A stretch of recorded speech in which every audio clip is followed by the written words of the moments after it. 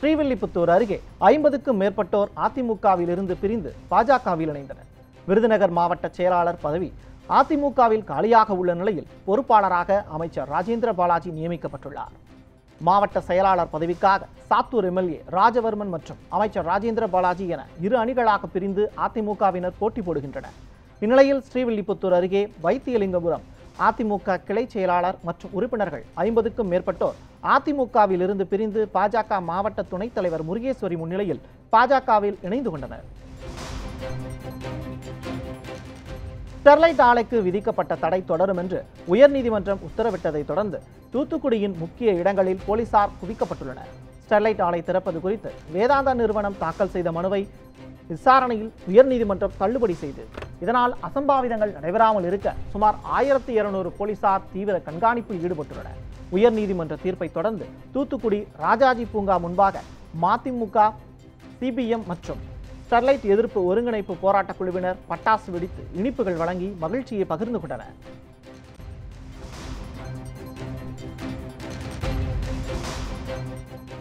சென்னை மதுரவாயிலில் காரை ஓட்டி பார்ப்பதாக கூறி சினிமா பட பாணியில் திருடிச் சென்ற நபர் கைது செய்யப்பட்டுள்ளார். தாம்பரத்தை அடுத்த சேலையூர் பகுதியைச் சேர்ந்தவர் சாய் சுப்பிரமணி சென்னையில் உள்ள தனியார் கல்வி நிறுவனத்தில் ஆசிரியராக பணிபுரிந்து வருகிறார். இவர் தமது காரை விற்பனை செய்வதற்காக ஓஎல்எக்ஸில் விளம்பரப்படுத்தியுள்ளார். இவரிடம் கடந்த ஜூன் மாதம் பொலிச்சுள்ளூரைச் சேர்ந்த ராஜபாண்டியன் என்பவர் தொலைபேசியில் அணுகி காரை வாங்கிக் கொள்வதாக கூறியுள்ளார். மதுரவாயர் பகுதிக்கு வந்த சாய் சுப்பிரமணியத்திடம் ராஜபாண்டியன் காரை ஓட்டி பார்த்துவிட்டு தருவதாக கூறி அப்படியே மாயமாகிவிட்டார். இதுகுறித்து சாய் சுப்பிரமணி கொடுத்த புகாரின் பேரில் ராஜபாண்டியனை தற்போது போலீசார் கைது செய்து சிறையில் அடைத்துள்ளனர். பத்து வயது சிறுமிக்கு பாலியல் துன்புறுத்தல் கொடுத்த முதியவரை போக்சோ சட்டத்தில் போலீசார் கைது செய்துள்ளனர். கோவை மாவட்டம் ராமநாதபுரம் பகுதியைச் சேர்ந்த பத்து வயது சிறுமி அந்த பகுதியில் உள்ள மளிகை கடைக்கு தின்பண்டம் வாங்கச் சென்றுள்ளார். அப்போது அந்த மளிகை கடை உரிமையாளரான அறுபத்தெட்டு வயது முதியவர். கனகராஜ் சிறுமிக்கு பாலியல் துன்புறுத்தல் கொடுத்ததோடு வீட்டில் சொன்னால் கொன்று விடுவதாக மிரட்டியுள்ளார். வீட்டுக்கு சென்ற சிறுமி தனது பெற்றோரிடம் இது தொடர்பாக கூறியுள்ளார். இதனைத் தொடர்ந்து ராமநாதபுரம் காவல் நிலையத்தில் பெற்றோர் புகார் அளித்துள்ளனர். இதனை அடிப்படையில் கனகராஜை போக்சோ சட்டத்தில் போலீசார் கைது செய்து சிறையில் அடைத்தனர். மதுரை திருமங்கலத்தில் மது போதை மற்றும் உல்லாச வாழ்க்கைக்கு ஆசைப்பட்டு தொடர் வழிப்பறையில் ஈடுபட்ட இரண்டு சிறுவர்களை கைது செய்யப்பட்டுள்ளன. திருமங்கலம் அருகே கப்பலூர் சுங்கச்சாவடி குன்னத்தூர் ஆகிய பகுதிகளில் இருசக்கர வாகனத்தில் சென்றவர்களிடம் பட்டாக்கத்தியை காட்டி வழிப்பறி செய்யப்படுவதாக போலீசாருக்கு புகார்கள் வந்தன. சிசிடிவி காட்சிகளை வைத்து போலீசார் நடத்திய விசாரணையில் பனையூர் பகுதியைச் சேர்ந்த அர்ஜுன் விக்னேஸ்வரன் அப்பாஸ் என்ற மூவரை வழிப்பறியில் ஈடுபட்டது தெரிய வந்தது. இதனை அடுத்து அர்ஜுன் விக்னேஸ்வரன் ஆகிய இருவரை கைது செய்த போலீசார் அவர்களிடமிருந்து எட்டு செல்போன்கள் மூன்று இருசக்கர வாகனங்களை மற்றும் அரைசவரன் நகையை பறிமுதல் செய்தனர் தப்பியோடைய அப்பாஸை போலீசார் தேடி வருகின்றனர். நடிகர் விஜய் ரசிகர்கள் அருப்புக்கோட்டையில் இரண்டாவது முறையாக நூறு மரக்கன்றுகளை நட்டனர். நடிகர் மகேஷ் பாபு விடுத்த பசுமை இந்தியா சவாலை ஏற்று நடிகர் விஜய் தனது வீட்டில் மரக்கன்று நடும் புகைப்படம் சமூக வலைதளங்களில் வெளியாகி வைரலானது. இதனைத் தொடர்ந்து விருதுநகர் மாவட்டம் அருப்புக்கோட்டை நகராட்சியில் முதற்கட்டமாக ஐநூறு மரக்கன்றுகளை நடிகர் விஜய் ரசிகர்கள் நட்டனர். மேலும் பாளையம்பட்டி கிராமத்தை பசுமையாக மாற்றும் நோக்கத்தில் இன்று நூறுக்கும் மேற்பட்ட மரக்கன்றுகளை நட்டு வேலி அமைத்தனர். இதனைத் தொடர்ந்து பாளையம்பட்டி ஊராட்சியில் பணிபுரியும் துப்புரவு பணியாளர்களுக்கு நிவாரணப் பொருட்களையும் விஜய் ரசிகர்கள் வழங்கினர். சேலம் மாவட்டம் ஓமலூர் அருகே நள்ளிரவில் ஏடிஎம் இயந்திரத்தை உடைத்து கொள்ளையடிக்க முயற்சி நடந்துள்ளது. ஓமலூரை அடுத்த கார்வள்ளி ஊராட்சி சின்ன திருப்பதி பகுதியில் இண்டிகோ தனியார் ஏடிஎம் மையம் உள்ளது. இந்த நிலையில் மர்ம நபர்கள் ஏடிஎம் இயந்திரத்தை உடைக்க முயற்சி செய்துள்ளனர் அது முடியாததால் கொள்ளையர்கள் தப்பிச் சென்றுள்ளனர் இதுகுறித்து சிசிடிவி காட்சிகளை கொண்டு தீவட்டிப்பட்டி போலீசார் விசாரணை மேற்கொண்டு வருகின்றனர். புதுவை மாநிலத்தில் இன்று தளர்வுகள் இல்லா முழு ஊரடங்கை எடுத்து தமிழகத்திலிருந்து செல்லும் வாகனங்கள் திருப்பி அனுப்பப்பட்டு வருகின்றன. கொரோனா பரவலை கட்டுப்படுத்தும் விதமாக புதுச்சேரி மாநிலத்தில் இன்று தளர்வுகள் இல்லா முழு ஊரடங்கு கடைபிடிக்கப்படுகிறது. மருந்தகங்கள் பால் விற்பனை நிலையங்கள் பெட்ரோல் பங்க் உள்ளிட்டவை. தவிர மற்ற அனைத்து கடைகளும் இன்று காலை ஆறு மணி முதல் மறுநாள் காலை ஆறு மணி வரை மூட உத்தரவிடப்பட்டுள்ளது. இதனால் புதுச்சேரி தமிழக எல்லைப்பகுதிகளில் போலீசார் தீவிர வாகன சோதனையில் ஈடுபட்டனர். புதுவை எல்லைப்பகுதியான முள்ளோடையில் கடலூரிலிருந்து செல்லும் அனைத்து வாகனங்களும் திருப்பி அனுப்பப்பட்டு வருகின்றன. முகக்கவசம் மற்றும் தலைக்கவசம் அணியாதோர் மது அருந்தி வாகனம் ஓட்டியவர்கள் என ஐம்பதுக்கும் மேற்பட்டோர் மீது போலீசார் வழக்கு பதிவு செய்துள்ளனர். திண்டுக்கல் மாவட்டம் நிலக்கோட்டையில் கொரோனா வைரஸின் தாக்கம் தீவிரமடைந்து வரும் சூழலில் முகக்கவசம் அணியாமல் இருசக்கர வாகனங்களில் வந்த இருபதுக்கும் மேற்பட்டோர் மீது காவல்துறையினர் வழக்கு பதிவு செய்து அபராதம் விதித்துள்ளனர். மேலும் சாலை விதிகளை மீறி தலைக்கவசம் அணியாமலும் மது அறிந்துவிட்டு வாகனம் ஓட்டியவர்கள் என முப்பதுக்கும் மேற்பட்டோர் மீது போலீசார் வழக்கு பதிவு செய்துள்ளனர். உரிய ஆவணங்களின்றி பயணம் செய்த வாகனங்களையும் போலீசார் பறிமுதல் செய்துள்ளனர். காதலித்துவிட்டு திருமணத்திற்கு மறுத்த காதலன் வீட்டு முன்பு பொறியியல் பட்டதாரி பெண் போராட்டத்தில் ஈடுபட்டுள்ளார். சேலம் மாவட்டம் காடையாம்பட்டி அருகே எளத்தூர் பகுதியைச் சேர்ந்த பொறியியல் பட்டதாரி சசிபிரபாவும் அதே பகுதியைச் சேர்ந்த கிரிவாசன் என்பவரும் கடந்த ஓராண்டாக காதலித்து வந்துள்ளனர். தாழ்த்தப்பட்ட சமூகத்தைச் சேர்ந்த பெண் என்பதால் காதலித்துவிட்டு திருமணம் செய்ய மறுத்த காதலன் கிரிவாசன் வீட்டின் முன்பு சசிபிரியா போராட்டத்தில் ஈடுபட்டுள்ளார். தகவல் அறிந்து வந்த போலீசார் சமரசத்தில் ஈடுபட்ட போதும் காதலனை சேர்த்து வைக்க கோரி பட்டதாரி இளம்பெண் தொடர்ந்து போராட்டத்தில் ஈடுபட்டு வருகிறார். விருதுநகர் மாவட்டம் சாத்தூரில் அதிமுக கிளைச் செயலாளர் வாகனத்திற்கு மர்ம நபர்கள் தீ வைத்துள்ளனர். சாத்தூர் எஸ் ஆர் நாயுடு நகர் பகுதியைச் சேர்ந்த செல்வகுமார் இவர் அதிமுக கிளைச் செயலாளராக உள்ளார். நேற்று இரவு தனது வீட்டின் முன்பு நிறுத்தி வைக்கப்பட்ட காரில் திடீரென தீப்பிடித்து எரிந்து கொண்டிருந்தது. இதுகுறித்து செல்வகுமார் சாத்தூர் தீயணைப்பு துறைக்கு தகவல் தெரிவித்துள்ளார். இதனையடுத்து சம்பவ இடத்திற்கு விரைந்து வந்த தீயணைப்பு துறையினர் தீயை அணைத்தனர். ஆனால் தீ விபத்தில் கார் முழுமையாக எரிந்து சேதமடைந்தது. இச்சம்பவம் குறித்து அதிமுக கிளைச் செயலாளர் செல்வகுமார் சாத்தூர் நகர காவல் நிலையத்தில் அளித்த புகாரின் பேரில் வழக்கு பதிவு செய்து காருக்கு தீ வைத்த மர்ம நபர்களை தேடி வருகின்றனர். கொரோனா பரவலை தடுக்க புதுச்சேரியில் இன்று ஒரு நாள் ஊரடங்கு அமல்படுத்தப்பட்டுள்ளது. அதன்படி இன்று காலை முதல் முழு ஊரடங்கு அமலுக்கு வந்தது. இதனால் புதிய பேருந்து நிலையத்தில் இயங்கி வந்த காய்கறி சந்தை மற்றும் பழைய பேருந்து நிலையத்தில் இயங்கி வந்த உழவர் சந்தை மூடப்பட்டது. அதேபோல் பெட்ரோல் பங்கு உட்பட நேரு வீதி காந்தி வீதி மிஷின் வீதி அண்ணா சாலை பகுதியில் உள்ள அனைத்து கடைகள் வணிக நிறுவனங்களும் மூடப்பட்டுள்ளது. இதில் பால் நிலையங்கள் மற்றும் மருந்தகங்கள் மட்டும் திறக்க அனுமதி அளிக்கப்பட்டுள்ளது. அதேபோல எல்லைகளில் தீவிர வாகன சோதனை செய்யப்பட்டு வெளிமாநில வாகனங்கள் திருப்பி அனுப்பப்பட்டு வருகின்றன. விருதுநகர் மாவட்டம் சதுரகிரியில் அமாவாசையை முன்னிட்டு பக்தர்கள் குவிந்தனர். ஸ்ரீவில்லிபுத்தூர் அருகே மேற்கு தொடர்ச்சி மலைப்பகுதியில் தரைமட்டத்திலிருந்து சுமார் நான்காயிரத்தி ஐநூறு அடி உயரத்தில் உள்ளது பிரசித்தி பெற்ற சதுரகிரி சுந்தரமகாலிங்கம் கோயில். இங்கு மாதந்தோறும் அமாவாசை மற்றும் பௌர்ணமி நாட்களில் மட்டுமே கோயிலுக்கு செல்ல பக்தர்களுக்கு அனுமதி வழங்கப்படுகிறது. கடந்த நான்கு மாதங்களாக கொரோனா அச்சுறுத்தல் காரணமாக சதுரகிரி கோயிலுக்கு பக்தர்கள் செல்ல தடை விதிக்கப்பட்டுள்ளது. தற்போது இ பாஸ் எளிதில் கிடைப்பதால் சதுரகிரி கோயிலில் பக்தர்கள் குவிந்தனர். இந்நிலையில் கொரோனா பரவல் காரணமாக கோயிலுக்கு செல்ல அனுமதி இல்லாததால் அடிவாரத்திலேயே பக்தர்கள் சாமி தரிசனம் செய்துவிட்டு ஏமாற்றத்துடன் திரும்பி சென்றனர். விழுப்புரம் கீழ்குத்தப்பாக்கம் கிராமத்தில் ஆறு வயது சிறுமியை பாலியல் தொந்தரவு செய்த முதியவர் கைது செய்யப்பட்டுள்ளார். கீழ்குத்தப்பாக்கம் கிராமத்தில் தனது வீட்டருகே ஆறு வயது சிறுமி விளையாடிக் கொண்டிருந்தார். அப்போது அதே பகுதியைச் சேர்ந்த வெங்கடேசன் என்ற முதியவர் சிறுமியை தனது வீட்டிற்குள் அழைத்துச் சென்று பாலியல் தொந்தரவு செய்துள்ளார். இதனையடுத்து சிறுமி தனது பெற்றோரிடம் இதுகுறித்து கூறியதைத் தொடர்ந்து பெற்றோர்கள் கிளியனூர் காவல் நிலையத்தில் புகார் அளித்தனர். அந்த புகாரின் பேரில் விசாரணை செய்த கிளியனூர் போலீசார் முதியவர் மீது போக்சோ சட்டத்தில் கைது செய்து சிறையில் அடைத்துள்ளனர். சேலம் தலைமை தபால் அலுவலகத்தில் ஆதார் அட்டையை திருத்தம் செய்ய ஒரே நேரத்தில் ஏராளமானோர் கூடியதால் கொரோனா தொற்று அபாயம் உள்ளதாக பொதுமக்கள் வேதனை தெரிவித்துள்ளனர். கொரோனா காரணமாக கடந்த மூன்று மாதங்களாக இ சேவை மையங்கள் செயல்படாததால் ஆதார் அட்டையில் திருத்தம் செய்ய ஒரே நேரத்தில் நூறுக்கும் மேற்பட்டோர் கூடியுள்ளதாக தெரிவிக்கின்றனர். ஆங்காங்கே இ சேவை மையங்கள் செயல்பட்டால் ஒரே இடத்தில் கூட்டம் கூடுவதற்கான வாய்ப்புகள் குறையும் என கூறியுள்ளனர்.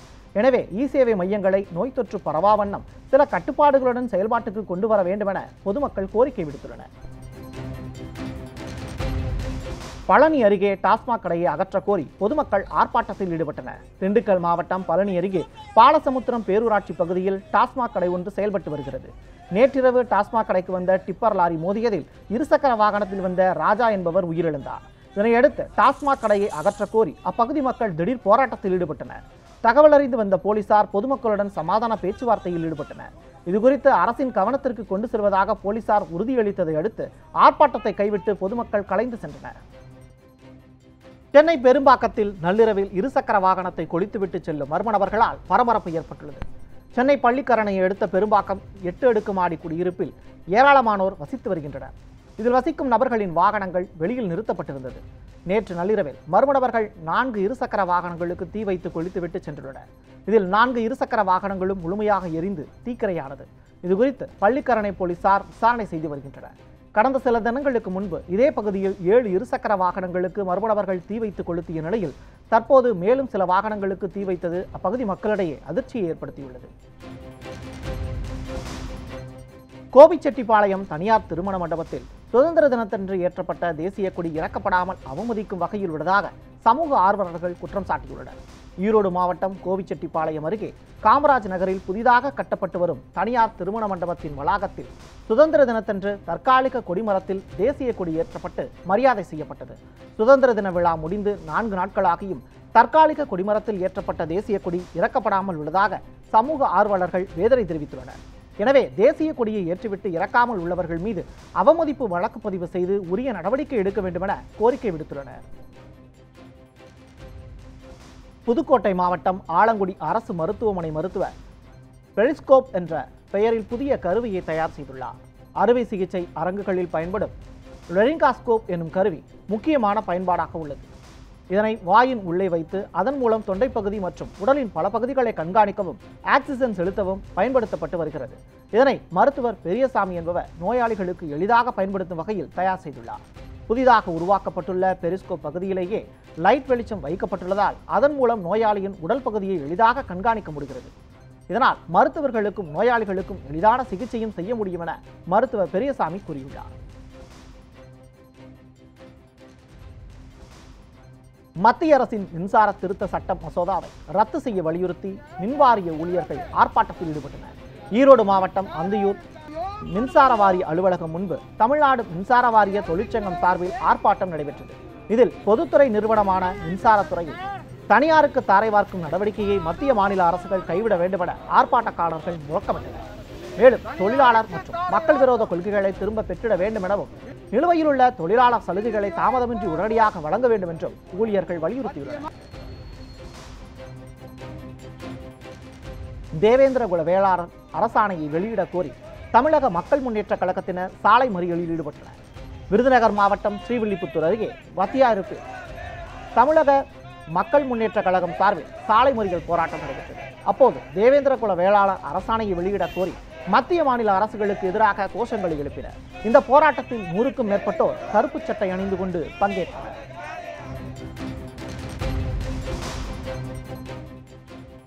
ஈரோடு மாவட்டம் பவானி அருகே கவுந்தபாடியில் இந்து முன்னணியினர் விநாயகர் சதுர்த்தியை முன்னிட்டு விநாயகர் சிலை வைத்து தடைமீறி வழிபாடு நடத்தினர். பொது இடங்களில் விநாயகர் சிலை வைத்து வழிபாடு செய்ய தமிழக அரசு தடை பிறப்பித்துள்ளது. கவுந்தபாடியில் விநாயகர் சிலையை இந்திய இந்து முன்னணியினர் தடையை மீறி பொது இடத்தில் சிலை வைத்து வழிபாடு நடத்தினர். இது குறித்து தகவல் அறிந்து சம்பவ இடத்திற்கு விரைந்து வந்த கவுந்தம்பாடி போலீசார் இந்து முன்னணியினருடன் பேச்சுவார்த்தை நடத்தினர். இதனையடுத்து சிலை எடுக்க முயன்ற போலீசாருடன் வாக்குவாதத்திலும் அவர்கள் ஈடுபட்டனர். போலீசார் பேச்சுவார்த்தை நடத்தியதை அடுத்து விநாயகர் சிலை தனிநபர் இடத்தில் தற்காலிகமாக வைக்க ஏற்பாடு செய்யப்பட்டதை தொடர்ந்து இந்து முன்னணியினர் போராட்டத்தை கைவிட்டு சென்றனர். கரூரில் புதிய கட்டளை மேட்டு வாய்க்காலில் இருந்து பாசனத்திற்காக தண்ணீர் திறக்கப்பட்டது. இதனை சட்டமன்ற உறுப்பினர் கீதா மற்றும் மாவட்ட ஆட்சியர் அன்பழகன் ஆகியோர் திறந்து வைத்தனர். இதனால் திருச்சி மாவட்டத்தில் பதினாறாயிரம் ஏக்கர் நிலமும் தஞ்சாவூர் மாவட்டத்தில் நான்காயிரத்தி ஐநூறு ஏக்கர் விவசாய நிலங்கள் பாசன வசதி பெறும். இது ஆயிரத்தி தொள்ளாயிரத்தி ஐம்பத்தி ஒன்பதாம் ஆண்டு காமராஜர் ஆட்சி காலத்தில் கட்டப்பட்டு அவரால் திறந்து வைக்கப்பட்ட வாய்க்கால்களாகும். உறவினர்களின் கல்லறையை இடித்து நிலத்தை அபகரிக்க முயன்றவர் மீது நடவடிக்கை எடுக்காத போலீசாரை கண்டித்து மாற்றுத்திறனாளிகள் போராட்டத்தில் ஈடுபட்டனர். கன்னியாகுமரி மாவட்டம் மார்த்தாண்டத்தைச் சேர்ந்த மாற்றுத்திறனாளி விஜயன். அவருடைய வீட்டின் அருகே அவரது மூதாதையர்களின் கல்லையர் கல்லறைகள் உள்ளன. அதே பகுதியைச் சேர்ந்த ஜெகன் என்பவர் ஜேசிபி இயந்திரத்துடன் அத்துமீறி நுழைந்து நான்கு கல்லறை தோட்டங்களையும் இடித்து சேதப்படுத்தி நிலத்தை அபகரிக்கும் வகையில் சுற்றுச்சுவர் கட்டியுள்ளார். இது தொடர்பாக மாத்தாண்டம் காவல் நிலையத்தில் விஜயன் கொடுத்த புகார் மீது காவல்துறையினர் நடவடிக்கை எடுக்காததை கண்டித்து விஜயனுக்கு ஆதரவாக மாற்றுத்திறனாளிகள் முற்றுகை போராட்டத்தில் ஈடுபட்டனர். இந்திய கம்யூனிஸ்ட் கட்சி அலுவலகம் குறித்து சமூக வலைதளங்களில் அவதூறு பரப்பியவர்கள் மீது நடவடிக்கை எடுக்க கோரி திருப்பூரில் இந்திய கம்யூனிஸ்ட் கட்சியினர் கருப்பு கொடியேந்தி போராட்டத்தில் ஈடுபட்டனர். திருப்பூர் மாவட்ட ஆட்சியர் அலுவலகம் எதிரே கருப்பு கொடி ஏந்தி போராட்டத்தில் ஈடுபட்ட இந்திய கம்யூனிஸ்ட் கட்சியினர் காவல்துறை மற்றும் தமிழக அரசை கண்டித்து கோஷங்கள் எழுப்பினர் இதேபோல தஞ்சை மாவட்டம் பேராவூரணி வட்டாட்சியர் அலுவலகம் முன்பு இந்திய கம்யூனிஸ்ட் கட்சியினர் கைகளில் கருப்பு கொடி ஏந்தி போராட்டத்தில் ஈடுபட்டனர். இ பாஸ் மூலம் சொந்த ஊர் திரும்புவோர் வீட்டில் பதினான்கு நாட்கள் தனிமைப்படுத்தப்பட்டு உள்ளனரா என கண்காணிக்கப்படும் என வட்டாட்சியர் தெரிவித்துள்ளார். நெல்லை மாவட்டம் அம்பாசமுத்திரத்தில் புதிதாக பொறுப்பேற்றுள்ள வட்டாட்சியர் வெங்கடேஷ் அப்பகுதி மக்களிடம் கோரிக்கை மனுக்களை பெற்றார். பின்னர் மாதந்தோறும் மனுக்கள் பெறப்படும் எனவும் பொதுமக்கள் முகக்கவசம் அணிந்தும் சமூக இடைவெளியை பின்பற்ற வேண்டும் எனவும் அவர் கேட்டுக்கொண்டார். மேலும் இ பாஸ் பெற்று சொந்த ஊர் திரும்புவோர் கட்டாயம் பதினான்கு நாட்கள் வீட்டில் தனிமைப்படுத்திக் கொள்ள வேண்டும் என அவர் வேண்டுகோள் விடுத்தார். மீறி வெளியே வருபவர்கள் மீது கடும் நடவடிக்கை எடுக்கப்படும் என வட்டாட்சியர் வெங்கடேஷ் எச்சரிக்கை விடுத்துள்ளார். மூணாறு நிலச்சரிவில் உயிரிழந்த தமிழர்களுக்கு உரிய நிவாரணம் வழங்க மறுக்கக்கூடிய கேரள அரசை கண்டித்து தடையை மீறி ஆர்ப்பாட்டத்தில் ஈடுபட்ட தமிழர் விடுதலைக் கழக அமைப்பினர் கைது செய்யப்பட்டனர் தென்காசி மாவட்ட ஆட்சியர் அலுவலகத்தில் தமிழர் விடுதலைக் கழக அமைப்பினர் மாநில துணைத் தலைவர் சாமி தலைமையில் அறுபதுக்கும் மேற்பட்டோர் குவிந்தனர். அப்போது மூணாறு நிலச்சரிவில் சிக்கி உயிரிழந்த தமிழர்களுக்கு உரிய நிவாரணம் வழங்க பாரபட்சம் காட்டும் கேரள அரசை கண்டித்தும் மீட்புப் பணிகளை துரிதப்படுத்திட வலியுறுத்தியும் ஆர்ப்பாட்டத்தில் ஈடுபட்டனர். தகவல் அறிந்து வந்த போலீசார் தடையை மீறி ஆர்ப்பாட்டத்தில் ஈடுபட்டதாக கூறி தமிழர் விடுதலை கள அமைப்பினரை கைது செய்தனர். மதுரை மாவட்டம் மேலூரில் முன்னாள் கவுன்சிலர் செந்தில் பாண்டியன் படுகொலை செய்யப்பட்ட வழக்கில் ஆறு பேரிடம் போலீசார் விசாரணை செய்து வருகின்றனர். மேலூர் அருகே திருவாதவூரைச் சேர்ந்தவர் செந்தில் பாண்டியன். இவரை சுதந்திர தினத்தன்று ஒரு கும்பல் அவரை வழிமுறைத்து சரமாரியாக வெட்டி படுகொலை செய்தது. கடந்த இரண்டாயிரத்தி பதினான்காம் ஆண்டு கஞ்சா விற்பனையில் ஈடுபட்ட போட்டியால் உதயா என்பவரை செந்தில் பாண்டியன் தரப்பு கொலை செய்தது. இதற்கு பழிவாங்கவே உதயாவின் நண்பர்கள் தற்போது செந்தில் பாண்டியனை கொலை செய்ததாக கூறப்படுகிறது. இந்த கொலை வழக்கு தொடர்பாக போலீசார் உதயாவின் நண்பர்கள் ஆறு பேரை பிடித்து விசாரணை செய்து வருகின்றனர். ஈரோடு மாவட்டம் அந்தியூர் வனப்பகுதியில் வனவிலங்குகளை வேட்டையாடிய மூன்று பேர் கைது செய்யப்பட்டுள்ளனர். அந்தியூர் வனப்பகுதியில் வனத்துறையினர் ரோந்து பணியில் ஈடுபட்டிருந்தனர். அப்போது வனப்பகுதியில் வனவிலங்குகளை பிடிப்பதற்காக மூன்று பேர் கண்ணிவிடி வைத்ததை பார்த்த வனத்துறையினர் கையும் களவுமாக அவர்களை பிடித்தனர். விசாரணை நடத்தியதில் பிச்சிப்பாளையைச் சேர்ந்த முருகன் நாகராஜ் சிவராஜ் என்பது தெரிய வந்தது. மூன்று பேர் மீது வழக்கு பதிவு செய்த வனத்துறையினர் மூன்று பேருக்கும் தலா பதினைந்தாயிரம் ரூபாய் அபராதம் விதித்தனர். சென்னையில் பால் கடையின் கல்லாப்பெட்டியில் வைத்திருந்த பணத்தை மர்மநபர் திருடிச் செல்லும் சிசிடிவி காட்சி வெளியாகியுள்ளது. புதுவண்ணாரப்பட்டை ஏஇ கோயில் தெருவில் வீராசாமி என்பவர் பால் கடை நடத்தி வருகிறார். கடையின் ஷட்டரை கீழே இறக்கிவிட்டு பூட்டாமல் அருகில் உள்ள இடத்திற்கு சென்றுள்ளார். இதனை நோட்டமிட்ட மர்மநபர் செல்போன் பேசியபடி கடையை திறந்து கல்லாப்பெட்டியில் இருந்த ஒரு லட்சம் ரூபாய் பணத்தை கொள்ளையடித்து சென்றுள்ளார். இதனையடுத்து கடைக்கு வந்து பார்த்த வீராசாமி கடை திறக்கப்பட்டு இருந்ததையும் கல்லாப்பெட்டியில் வைத்திருந்த பணம் காணாமல் போனதையும் கண்டு அதிர்ச்சியடைந்தார். தகவல் அறிந்து வந்த போலீசார் கடையில் உள்ள சிசிடிவி காட்சிகளின் அடிப்படையில் விசாரணை நடத்தி வருகின்றனர். விவசாய நிலங்களுக்கு செல்லும் பொதுப்பாதை ஆக்கிரமிப்பு செய்யப்பட்டதை கண்டித்து கிராம மக்கள் முற்றுகை போராட்டத்தில் ஈடுபட்டனர். நெல்லை மாவட்டம் வள்ளியூர் பகுதியில் உள்ள விவசாய நிலங்களுக்கு ராஜலிங்கபுரம் வழியாக செல்லும் பொதுப்பாதை சுமார் அறுபது ஆண்டுகளாக பயன்பாட்டில் இருந்து வருகிறது. தற்போது பாதையின் ஒரு பகுதி தனியாரால் ஆக்கிரமிப்பு செய்து வழித்தடத்தில் பள்ளம் தோண்டப்பட்டு தடுக்கப்பட்டுள்ளது. இதுகுறித்து சம்பந்தப்பட்ட அதிகாரிகளின் கவனத்திற்கு கொண்டு செல்லப்பட்டும் நடவடிக்கை எடுக்காததை கண்டித்து கிராம மக்கள் முற்றுகை போராட்டத்தில் ஈடுபட்டனர்.